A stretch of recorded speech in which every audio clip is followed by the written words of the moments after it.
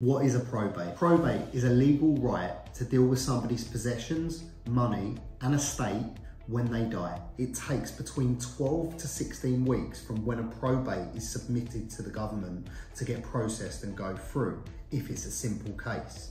You can pay extra for an accelerated probate process. In order for probate to happen, my advice is to get two to three estate agent valuations round to get an accurate measure and an accurate price of the property. Please pay attention to inheritance tax laws as well.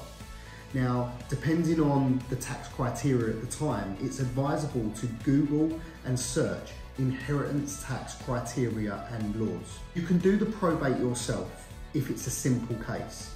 It's advisable to go online, fill in the forms of the .gov website and actually conduct the probate yourself. Alternatively, if you don't want to do this, you can always use a lawyer to go through the probate and do the probate for you. When it comes to inheritance tax laws though, my advice is to speak to a good qualified accountant to see what needs to be paid and what doesn't need to be paid.